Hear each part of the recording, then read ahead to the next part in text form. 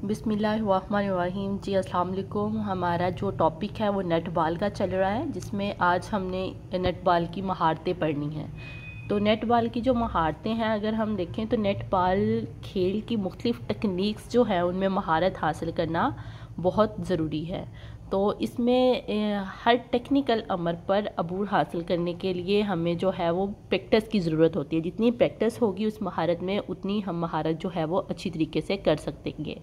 तो पासिंग आता है। पासिंग क्या है कि साथी खिलाड़ी की तरफ़ से जो बाल आया है या जो हमने बाल उसकी तरफ़ फेंकना है, उसका क्या जाविया होना चाहिए, क्या रफ्तार, बुलंदी और कितना फ़ासला जो है वो होना चाहिए।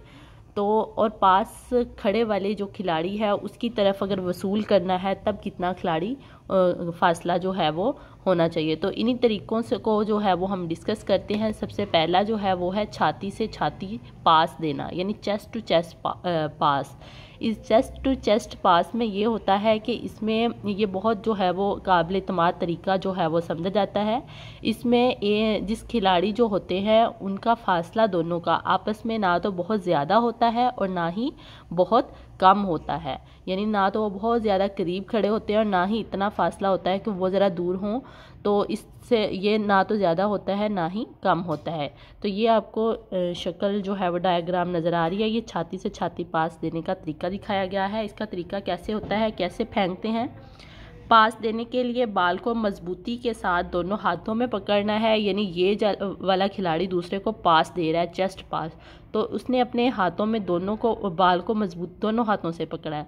और उसकी पोजीशन देखें खड़ी हो, खड़े होने की, उसका एक पाँव आगे है और एक पाँव पीछे है। यानी एक टांग उसकी आगे होगी, एक टांग पीछे होगी और बाल को छाती के करीब लाएगा इधर से और दर्द को जो है वो थोड़ा सा पीछे झुकाकर इतने ज़ोर से बाल को साथी खिलाड़ी की तरफ़ फेंकेगा कि 90 का एंगल बने और उसके पास जो है वो पहुँच जाए। ये छाती से छाती पास देना है। ये वाला, ये खिलाड़ी इसको दे रहा है और इसने जो है वो वसूल करना है। तो इस तरह की ये आपकी पोजीशन होनी चाहिए और इस तरह 90 के एंगल में फेंकना है। नेक्स्ट है छाती से छाती पास लेना। पहले था देना, अब लेना यानी वसूल करना है। पहले इसने इसको छाती दिया था। अब ये जो है वो रिसीव कर रहे हैं, ठीक है? छाती से छाती स्टाइल का पास वसूल करने के लिए खिलाड़ी को बिल्कुल तैयार रहना चाहिए। नज़र यानी उसकी नज़र जो है, जिसने उसको देना है, उसकी तरफ़ होनी चाहिए, ना कि इधर उधर उसकी नज़र होनी चाहिए। और पाँव जो है, उसके आगे पीछे हो सकते हैं या बराबर भी वो रख सकता है जब वसूल करना है, ठीक है? तो ये पास, लेकिन जब देना है, तब पाँव आगे पीछे होने चाहिए। ये देखिए, ये दे रहा है, इसके पाँव आगे पीछे हैं, लेकिन ये वसूल कर रहा है, ये आगे पीछे भी रख सकता है और बराबर भी रख सकता है। ये पास सीधा छाती की तरफ़ आता है, यानी इसने वसूल किया और इसकी छाती के जो है वो उधर आ रहा है, ठीक है? इसलिए बाजुओं को सीने की ऊंचाई के मुताबिक फैलाएँ। जिधर आपका सीना है, उधर तक आपने, अपने बाजू लेके जाने हैं। दोनों बाजू ऊपर, नीचे या पहलुओं की तरफ़ एक दूसरे के मतवाजी हों और उंगलियाँ जो हैं वो खुली होनी चाहिए। दोनों हाथों का आपस में फ़ासला बाल के कुतर के मुताबिक हो, यानी अपने हाथों का फ़ासला जो है वो इतना रखना है कि जितना आपको लग रहा है कि बाल का कुतर कितना है। अगर आपको बाल इतना लग रहा है तो उतना जो है वो अपना फ़ासला रखें। अब ये है कि बाल इतना है और आप फ़ासला जो है वो इतना सारा रख लें तो बाल नीचे गिर जाएगा। तो ये था छाती से छाती पास देने का तरीका और वसूल करने का तरीका। ये देखें, ये वाला खिलाड़ी जो है वो इसको दे रहा है और ये वाला वसूल कर रहा है तो इसके हाथ, इसकी टांगें और इसके हाथ और उसकी टांगें देखें। नेक्स्ट है, एक हाथ से पास देना। ये पास इस वक्त दिया जाता है जब साथी खिलाड़ी इतने ज़्यादा फासले पर खड़ी हों कि दोनों हाथों से पास देना मुमकिन ना हो। या मुखालिफ खिलाड़ी दरमियान में हायल हो तो ये तरीका इख्तियार किया जाता है। यानी एक हाथ से पास कब इख्तियार किया जाता है? जब फासला जो है वो ज़्यादा हो और दोनों हाथों से पास ना दिया जा सकता हो या दरमियान में मुखालिफ खिलाड़ी खड़ा हो तो एक हाथ से पास दिया जाता है। इसका तरीका क्या क्या है?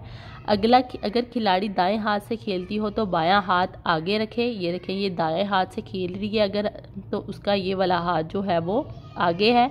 अगर आपका ये वाला हाथ से खेलना है, बाल को पकड़ना है तो वो वाला हाथ आपका आगे और इस हाथ से बाल को पीछे से पकड़ेंगे। बाल को हाथ में पकड़कर सर के पीछे लाए और जिसम का वज़न पीछे पाँव पर मुंतकिल करते हुए ज़ोरदार तरीके से बाल को अपनी साथी खिलाड़ी की तरफ़ फेंक दें। बाल इतनी ऊंचाई पर फेंकना चाहिए कि दरमियान में खड़ी मुखालिफ खिलाड़ी उछल कर भी, यानी इतना ऊँचा अगर उसका सर ये है तो इधर से फेंकना चाहिए ताकि अगर वो उछल कर भी पकड़ना पकड़ना पकड़ना चाहे तो वो बाल को ना पकड़ सके। तो ये था एक हाथ से पास देने का तरीका और एक हाथ से पास वसूल करना या बाल को रोकना। एक हाथ से बाज़ात ऐसा भी होता है कि बाल हवा फेंका हुआ बाल इतना ऊँचा होता है कि बाल दोनों हाथों से पकड़ना मुश्किल होता है। तो ऐसी सूरत हाल से निपटने के लिए उछल कर एक हाथ से बाल को पकड़ने की या रोकने की कोशिश की जा सकती है। अगला तरीका है पहलू की पहलू की जानब पास देना। इसमें क्या है, ये पास दौड़ती हुई खिलाड़ी को दिया जाता है। ये पास बहुत तेज़ रफ्तार पास होता है। पास इस वक्त बहुत ध्यान रखना ज़रूरी है कि पास वसूल करने वाले खिलाड़ी पास लेने के लिए तैयार भी हैं। पासिंग के इस तरीके में बाल को एक या दोनों हाथों से पकड़ें। पाँव आगे पीछे होगा इसका, जब होगा, और इसमें फासला होगा। यानी इन दोनों पाँव के दरमियान मुनासिब फासला होना चाहिए।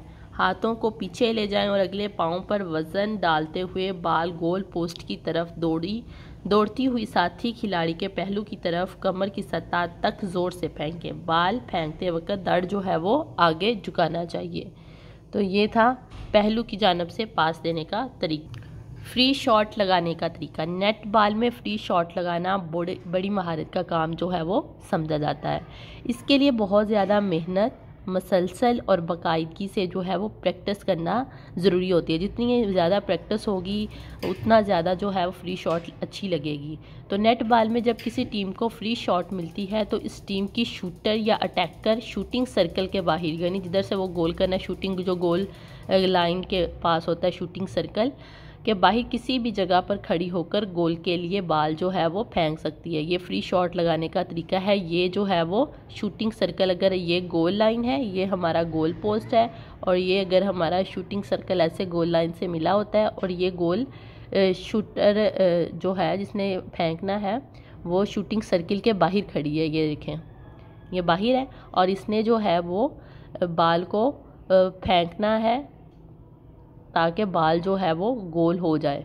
तो ये वाले खिलाड़ी जो हैं, ये वाले ये वाले, ये दूसरी टीम के हैं, ये इसको रोकने की कोशिश करेंगे। तो इसने इस तरीके से इसलिए इसमें बहुत ज़्यादा मसलसल महारत और प्रैक्टिस की ज़रूरत है, ताकि इसका बाल जो है वो गोल हो जाए, ना कि पकड़ा जाए। ठीक है? नेक्स्ट है थ्रो अप या टास अप थ्रो अप या टास अप क्या होता है? जब दो मुखालिफ खिलाड़ी बेक वक्त कोई फ़ाउल सरजद करते हैं तो जहाँ पर फ़ाउल होता है, वहाँ पर एम्पायर दोनों खिलाड़ियों के दरमियान बाल उछालकर खेल दोबारा शुरू करती है। इस, यानी ये दोनों खिलाड़ी हैं, ये ए टीम का है और ये बी टीम की खिलाड़ी हैं। तो इन दोनों से, इससे भी फाउल हो गया, इससे भी फाउल हो गया। अगर तो एक से फाउल हो तो पॉइंट दूसरी को मिल जाता है, लेकिन दोनों से एक ही वक्त में फाउल हुआ है तो इसके लिए एम्पायर जो है वो दोनों खिलाड़ियों के दरमियान क्या करता है? खड़ा होता है और खड़ा होकर खेल दोबारा शुरू करता है। टास अप से, यानी खेल का आगाज़ जो है वो टास अप से होता है। इसका तरीका ये है कैसे करेगा? दोनों खिलाड़ी एक दूसरे की गोल पोस्ट की तरफ़ मुँह करके खड़ी होती हैं। इनका आपस में फ़ासला कम इज़ कम, यानी इसका मुँह और इसका मुँह, ये देखें इनका फ़ासला जो है वो 90 सेंटीमीटर होना चाहिए इधर से लेके इधर तक इन दोनों के दरमियान। और एम्पायर इनके दरमियान जो है वो बाल को उछालेगा। जब बाल इंतहाई बुलंदी हासिल कर ले तो कोई भी खिलाड़ी उछल कर बाल, यानी इसने फेंक देना है। अब इन दोनों में से जो चाहे वो उस बाल को ऊँचा होकर या छलांग लगाकर पकड़ सकता है। जैसे ये देखेंगे एम्पायर ने जो है वो बाल को फेंक दिया है टॉस अप करवा दिया है।